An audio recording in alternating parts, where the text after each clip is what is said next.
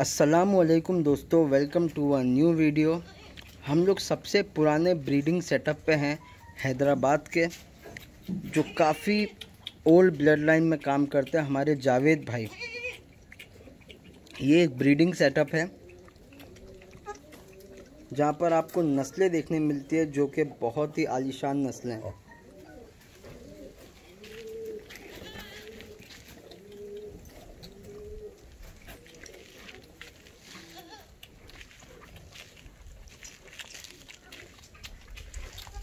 जावेद भाई अस्सलाम वालेकुम वालेकुम अस्सलाम। कैसे हैं आप? अल्हम्दुलिल्लाह। हमेशा की तरह आपसे मिलके बहुत खुशी होती है।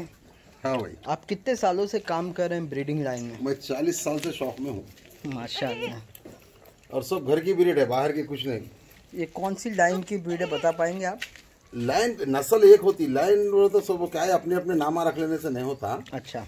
ये जो है एक ही लेन होती एक ही नस्ल होती। अब उसको बनाते चार अच्छे चार बुरे सब बनते। अब हर आदमी पाल लिया बकरा ने हर आदमी अपना नाम रख लिया। वो वो ब्रीड ये ब्रीड वो तो ब्रीड का मतलब है उसकी नस्ल। इंग्लिश में ब्रीड नस्ल। नस्ल। जी जावेद नस्ल एक ही है वो। जी। अब वो सब बना लिए वो वो ब्रीड ये ब्रीड वो सब ब्रीड नहीं।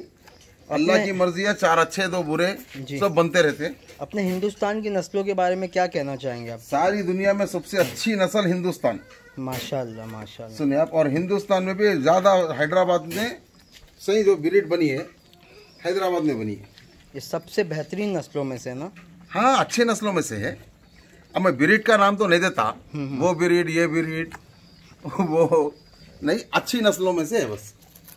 ये सारे नासी में ही मानेंगे। हाँ पूरे नासियों में से। अबे चार पाँच दिन वहाँ बच्चे पढ़ के। हम्म। हाँ। अरे पूरे बच्चों को मैं हाथ पे दूध पिलाता हूँ। कोई रीज़न है? कोई क्यों है हाथ पे पिलाते हैं? नहीं माँ उनका दूध मैं नहीं पिलाता सबको अलग रखता हूँ। इसलिए ये करता कि माँ के पास से हट गया तो बकरी एक महीने में भरे जाती। अच्छा। माँ के पास में बच्चों को छोड़ दे तो तीन महीने चार महीने में भरे जाती। देखो ये उस्ताद की बातें हैं जो बता रहे हैं। अब मेरे पास में क्या है? एक महीने में बकरी भरे जाना। हम्म। अब पिछले टाइम जब आए थे हम्म। बच्चे पड़े थे मेरे पास हाँ। फिर ये डेट देख लो उसकी बच्चों की ये डेट देख लो। आप जी। मैं पूरे बच्चे हाथ पे पालता हूँ। सारे हैंड फीडेड हैं। हैंड फीडिंग पे पालता हूँ बच्चों को। हम्म। बच्चे बेचते कितनी उम्र में हो? नहीं ऐसा कुछ भी नहीं है परसों बेचा पाँच बच्चे बेचा मैं। अच्छा। अब कोई भी आ गया तो बच्चे बड़े सब बेचते रहता हूँ मैं। हम्म। परसों बच्चे बेचा हुआ हूँ। ये ये पार्ट है। क्या क्या चीज़ें देखनी पड़ेंगी इसमें? इसका चेहरा देखते हैं। पंच फेस में हाँ? हाँ पंच फेस है ना? ला- लंबे कान। पंच फेस चार दिन के बच्चे ये। और एक दो बच्चे बताए ना ये वाला। बच्चे तो अंदर बहुत है जी। जी।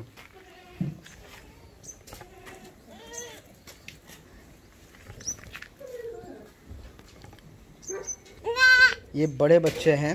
नहीं ये पाटा है पाटा है सब। ये पाँच पाँच महीने के पाटा है ओह माशाल्लाह इसके कान। अल्हम्दुलिल्लाह। दोस्तों ये क्वालिटी होती है हैदराबादी में। हैदराबादी की आँखें सफ़ेद लंबे कान।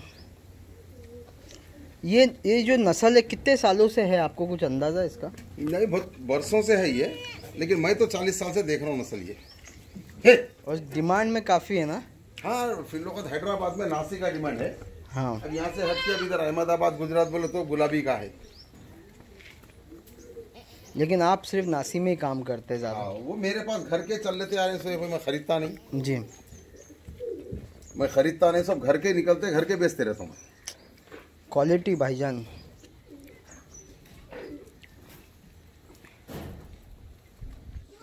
हे!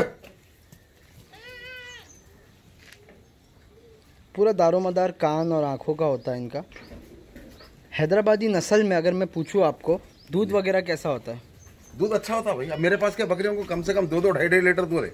जी मैं देखा दो से ढाई लीटर दूध देखेंगे तो कसौटे देख ले सकते हैं आप। हम्म।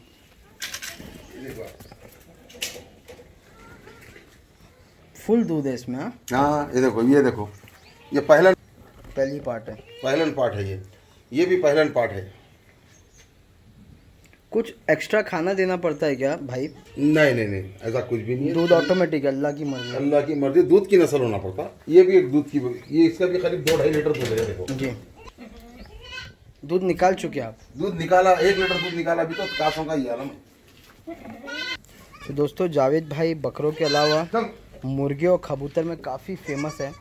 इनके पास में एक से एक असील मुर्गे हैं। कबूतर भी बहुत अच्छी नस्लों में इनके पास में। मुर्गे तैयार करते हैं ये बेचते नहीं हैं। जावेद भाई मुर्गे बेचते हो क्या? हाँ भाई। बेचते हो मुर्गे? नहीं नहीं मुर्गे शौक के वास्ते। शौक अब ये बबरे चोटियालों का सेटअप कर रहा हूँ जरा बंदरा के देखिए। बबरे? बबरे चोटियाल। क्या मुर्गे की नस्ल है क्या? नहीं नहीं कबूतर कबूतर की।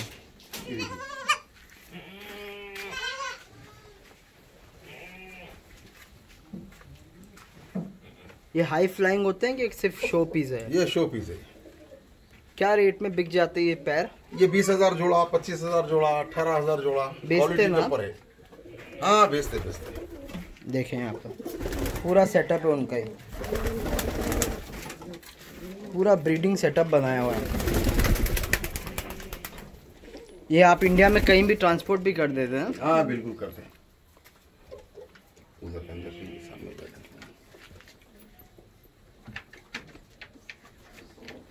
ऐसे सफ़ेद होते हैं और ग्रे कलर के इनके सेटअप होता है ना।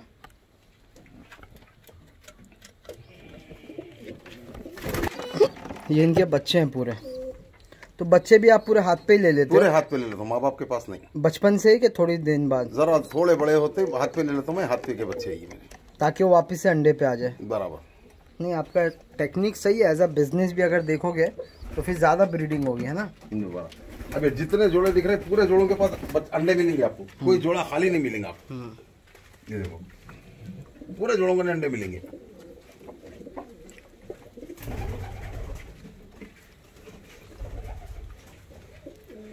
देखिए भाई भाई देखिए। इसके नए भी बच्चे निकले हुए है शायद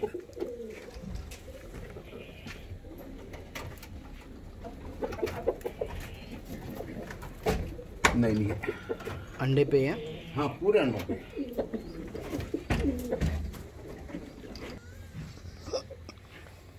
सुजाहिद भाई आपका बहुत बहुत शुक्रिया। आपने टाइम दिया हमको और अपने जानवर दिखाए।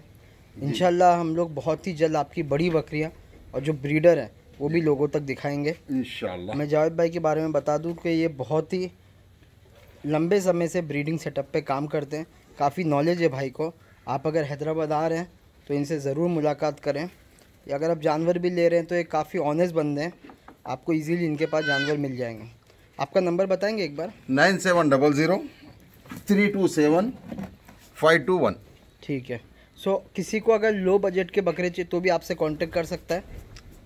लो बजट के बोले तो भाई अब तीस चालीस से कम के तो लो बजट नहीं होता। हम्म, उससे कम में नहीं मिल सकते। बकरे बकरियाँ। कुछ भी क्योंकि मेरे पास क्वालिटी है।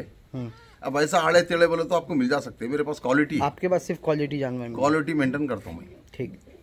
और वो हिसाब से रेट भी रहता है मेरे पास। नहीं सही बात है। क्वालिटी रहेगी तो रेट भी रहेगा। बस वो आड़े तेड़े मिल जाते हैं आपको बीस पच्चीस तीस हज़ार रुपए में मिलते हैं लेकिन कोई काम की बात नहीं है हम्म, उनकी ब्रीडिंग दाने का खर्चा ज़्यादा है मेहनत ज़्यादा है।